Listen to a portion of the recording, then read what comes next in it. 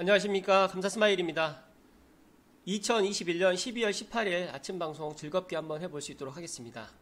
오늘 좋은 글은 제가 2015년도에 포스팅 했었던 내용인데요. 저도 너무 좋아서 제가 어떤 책을 보다가 이런 글이 있기가 있어서 제가 발췌해서 포스팅을 한 것 같습니다. 한번 제가 읽어 드리겠습니다. 눈물보다 아름다운 것. 나는 눈물이 없는 사람을 좋아하지 않는다. 눈물이 없는 사람은 가슴이 없다. 바닥까지 추락해 본 사람은 눈물을 사랑한다. 바닥에 가시가 깔려 있어도 양탄자가 깔려 있는 방처럼 아늑할 때가 있다. 이제는 더 이상 내려갈 수 없는 나락에 떨어지면 차라리 다시 일어서서 오를 수가 있어 좋다. 실패한 사랑 때문에, 실패한 사업 때문에, 실패한 시험 때문에 인생의 밑바닥에 내려갔다고 그것에 주저앉지 말아라. 희망조차 보이지 않는다고 실망하지 마라. 무슨 일이든 맨 처음으로 돌아가 다시 시작하면 되는 것이다. 사람은 자기가 흘린 눈물만큼 인생의 깊이를 안다. 눈물보다 아름다운 것은 다시 시작하는 용기와 희망이다. 제가 감자 스마일도 상당히 힘든 시절이 있었습니다. 어, 그 힘든 시절을 저도 잘 이겨냈고요. 이런 글을 제가 아침에 이야기 드린 이유는 제 방송을 보시는 분들 중에 개인적으로 여러 가지로 또 실패한 사랑 때문이라든지 실패한 사업 또 여러 가지 실패한 시험 때문에 인생에서 뭐 눈물을 흘린 경우가 있을 것 같은데 그러지 마시고 다시 다시 시작하시면 어 좋은 일이 있다라는 말씀을 오늘 아침에 어 이야기를 드리면서 어 오늘 방송 계속해서 이어서 이야기 드릴 수 있도록 하겠습니다. 오늘 방송할 주제는 경기신문의 고태현 기자님께서 11개 철도망 시대 고양시 교통지도가 확 바뀐다 관련해 가지고 제가 신문 기사를 토대로 한번 이야기를 드려볼 수 있도록 하겠습니다. 어, 많은 분들도 알고 계시겠지만 사통팔달 이제 고양시가 7개 노선이 4차 국가 철도망 구축 계획에 최종 확정됐고요. GTX A 노선, 킨텍스역, 대곡역, 창릉역까지 정거장이 확보됐으면서 서해선 일산역까지 연장이 되고 교회선도 운행이 재개됩니다. 이런 부분에 있어서 이야기를 좀 드려볼 수 있도록 하겠습니다. 첫 번째로 GTX-A 빨간색 선이 이제 GTX-A 선이고요. 그리고 지금 이제 일산선 일산선 같은 경우 3호선 연장선이고요. 그리고 서해선 어, 서해선 같은 경우에는 대곡에서 일산까지 또 다시 연장이 지금 계획되어 있으면서 인천 2호선도 지금 신설로 계획되어 있고요. 그리고 고양 은평선은 지금 세절에서 고양 시청역까지 계획되어 있으면서 신분당선도 아직까지 예타 재신청이 들어가서 용산에서 삼송까지 지금 계획되어 있습니다. 그리고 통일로선도 추가 검토 사업인데 제가 판단했을 때는 이 11번 통일로선도 어 좋은 좋은 결과가 있지 않을까. 제가 그때 제, 가 2020년도에 어, 테라비아트 분양할 때 제가 신원역 관련해 가지고 이야기를 드렸던 영상이 있는데 제가 그때 그 영상을 이야기 드렸더니 다들 미친놈 미친놈이라고 그렇게 제가 이야기를 들었었던 기억이 있네요. 그런데 제 예상대로 신혼역이 지금 들어올 가능성이 상당히 높다는 말씀 다시 한번 드리고요. 그리고 교회선 같은 경우에도 단선 전철로 수가 검토 사업이었는데 이게 반영이 돼서 빠르면 2024년에 개통을 지금 앞두고 어, 내년부터 지금 예산 반영돼서 지금 어, 준비 중에 있다는 말씀을 다시 한번 드립니다. 그리고 아래쪽에 대장 홍대선 같은 경우에도 신설역인데 이게 상당히 또 파급 효과가 좀큰클 역이 역 어, 신설 철도가 될 것 같다는 말씀을 다시 한번 드립니다. 일단 고양시의 교통지도가 새롭게 그려지고 있고요. 오랜 정체를 뒤덮던 철도 교통망이 동서남북으로 뻗어나가고 있고 확장된 교통망, 교통망은 내년 출범하는 고양 특례시는 물론 자족 도시를 위한 대형 사업을 탄탄히 지금 뒷받침 지금 하고 있다라는 기사 내용입니다. 고양시가 6개 노선 신설과 5개 노선 연장 그리고 개선 협의를 해가지고 총 11개 철도망이 확보되어 있는 상태고요. 출퇴근 교통 여건이 크게 향상될 전망입니다. 이런 부분 어, 물론 제가 계속해서 이야기 드리지만 어, 더 새로운 소식 있으면 제가 말씀을 드릴 수 있도록 하겠습니다. 지금 이 사진은 GTX-A 노선 공사 현장을 찾고 있는 어, 이재준 고양시장님의 그런 모습이고요. 그리고 4차 국가 철도망 구축 계획에서 7개 노선 반영되어 있는데 저는 무엇보다도 중요하게 생각하는 것 중에 하나가 GTX-A 정거장이 추가적으로 창릉역까지 한 개소가 더 확보가 돼서 총 3개소. 그러니까 일, 반적으로 지자체 고양시 같이 이렇게 3개 정거장이 있는 데가 없습니다. 보통 이제 한 개 내지 두 개 정도가 있는데 서울 같은 경우에는 좀 있지만 뭐 예를 들어서 용인시라든지 뭐 화성시라든지 이런 데는 다 한 곳밖에 지금 벼 있지 않습니다. 그렇기 때문에 뭐 파주 같은 경우도 정거장이 한 개밖에 없지 않습니까? 그래서 상당히 이런 것들이 파급이 상당히 크고요. 추가 검토 사업으로 앞서서 이야기 드렸지만 조리금토선은 정말 긍정적으로 저는 좀 보고 있고요. 교회선도 지금 포함이 됐다는 말씀을 다시 한번 드립니다. 그리고 가장 중요한 GTX-A 노선 지금 공사가 지금 어, 착착 잘 진행되고 있는데 이 부분에 있어서 어, 킨텍스라든지 대곡 특히 이제 창릉까지 정거장이 들어오기 때문에 어, 항상 제가 말씀드리지만 GTX-A 노선은 2024년에서 2025년에 개통을 할 예정입니다. 그렇기 때문에 그런 부분에 있어서 조금 더 생각이 좀 있으신 분들은 GTX-A 정거장 주변으로 해서 내 집 마련을 하시라는 말씀을 다시 한번 제가 드립니다. 제가 지난 방송에서도 말씀드렸지만 서해선 한강 하자 터널이 잘 착공이 지금 착공이 잘 돼서 2023년 1월에 지금 개통할 예정이라는 말씀을 다시 한번 드리고요. 이런 지금 어, 이야기들이 먼 미래가 아니라 곧 개통을 한다는 말씀을 다시 한번 드리고요.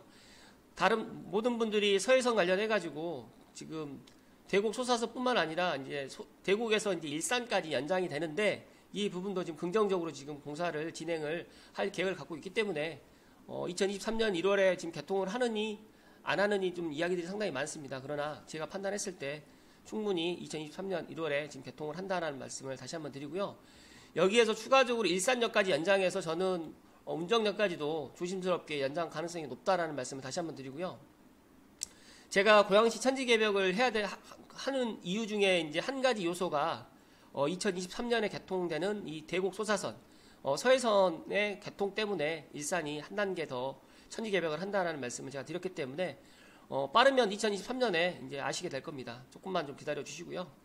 어, 교회선 같은 경우에는 지금 이제 기존 선로가 있기 때문에 이런 부분이 있어가지고 세부 설계에 착수했고요.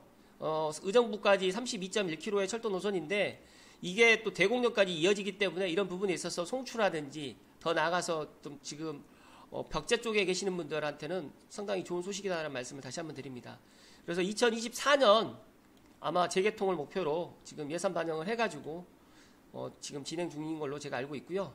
추가적으로 저도 몰랐었던 상황인데요. 경의선 급행열차가 일단 있, 었다고 합니다. 그래서 이런 부분에 있어서 개통 12년 만에 탄현역 정차를 시작했기 때문에 이런 부분에 개선 대책에서 경의선 열차도 4량에서 8량으로 또 반영이 됐다는 말씀을 다시 한번 드리고요.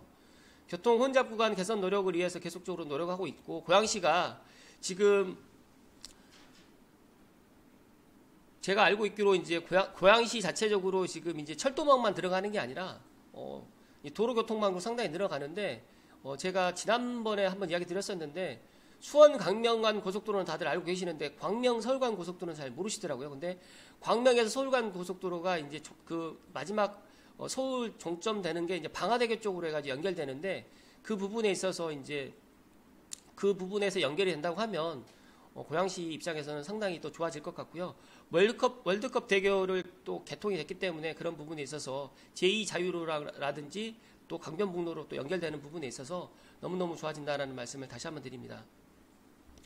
일단은 지금 마두라든지 백석 지역 통행을 개선하기 위해서 자유로하고 제2 자유를 연결하는 백석 IC 신설을 지금 추진하고 있고요.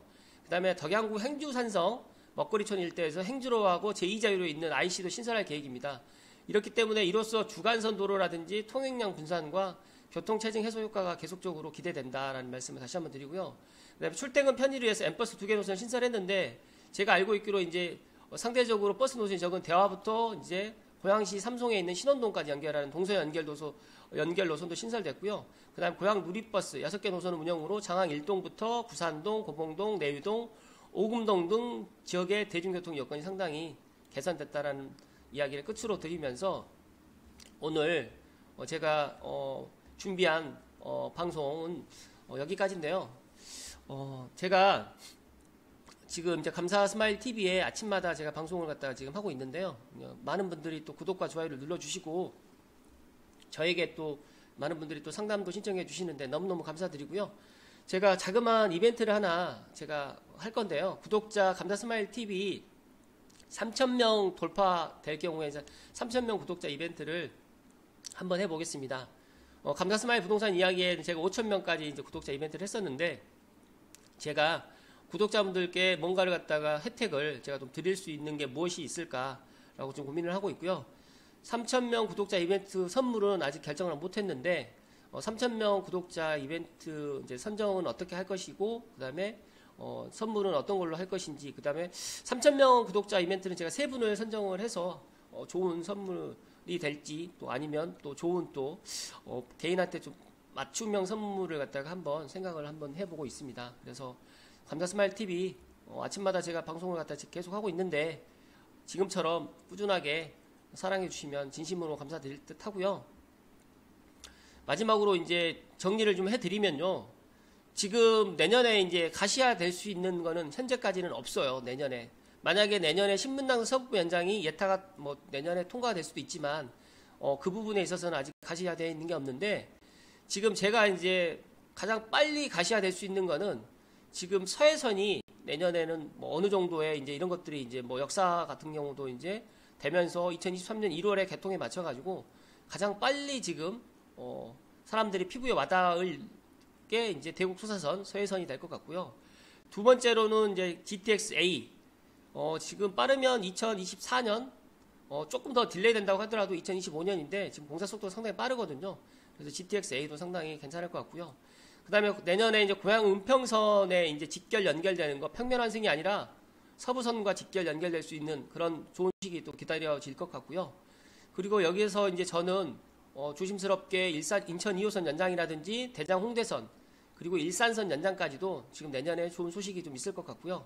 그리고 저는 지금 통일로선이 삼성에서 금총 구간인데 아마 삼성역까지 연결되기는 쉽지 않을 것 같고 신원역으로 해가지고 연결될 가능성도 상당히 있다는 말씀을 저는 조심스럽게 드립니다. 어, 내년에 고양시가 특례시가 되면서 추가적으로 고양시가 특례시가 되고 난 이후에 지금 여기 보시게 되면 파란색으로 되어 있는 덕양구가 덕양 남구 북구로 분구가 될 것 같은데 이 덕양구 분구 관련해서도 아마 내년쯤에 내년 하반기쯤에 지방자치단체장 선거가 끝나고 나면 아마 그런 부분도 상당히 빨리 논의가 될 것 같고요. 제가 얼마 전에 이제 고양시청 신청사 관련해 가지고도 제가 방송을 한번 해드렸었는데 예, 많은 분들이 그 신청사 관련해 가지고 좋다라고 하는 분도 있고 또 시청을 만드는 데 있어 가지고 왜 그렇게 예산을 많이 쓰느냐, 쓰느냐 그렇게 또 좀 약간 좀 반대적인 또 의견을 주신 분들도 계시는데 제가 개인적으로 생각했을 때 일반적인 시청이 아닙니다. 이제 고양시 같은 경우에는 이제 조만간 광역시급의 이제 특례시라는 게 100만 이상이 되는 도시가 되는 건데 제가 생각했을 때는 거의 광역시급의 혜택이라고 보시면 되고 또 많은 분들이 고양시가 특례시가 되면 무엇이 좋아지느냐 그걸 또 여쭤보시는데 제가 그 부분에 있어서는 제가 다음번에 고양시가 특례시가 되면 어떠 어떠한 부분이 좋아진다라는 것들을 한번 정리해서 이야기 드려볼 수 있도록 하겠습니다. 아, 오늘도 즐거운 토요일이고 또 내일 또 일요일인데 감자스마일은 토요일이 가장 행복합니다. 유일하게 이제 하루 쉬는 날이 일요일이다 보니까 아무튼 저도 주말 재충전 잘하고 다음 주 월요일 날 또 반갑게 인사드릴 수 있도록 하겠습니다. 날씨가 갑자기 추워졌는데 개인 건강 관리 잘 하시고요. 오늘 하루 주말 건강하게 보내십시오. 고맙습니다.